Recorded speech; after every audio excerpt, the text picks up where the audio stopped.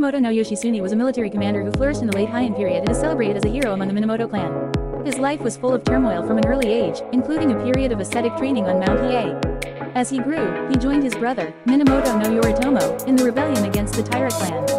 Yoshitsune's valor and strategic acumen led to many glorious victories, most notably at the Battle of Dan no Ura, where he played a decisive role in annihilating the Taira, securing victory for the Minamoto clan. However, a deep rift developed between Yoshitsune and Yoritomo, resulting in Yoshitsune's exile.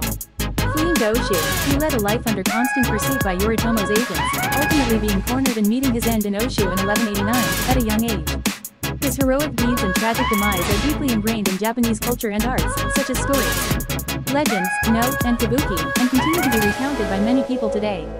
Yoshitsune's life, marked by fraternal discord, loyalty and betrayal, and the fall of a hero, remains an enduring narrative that captures the hearts of the Japanese people.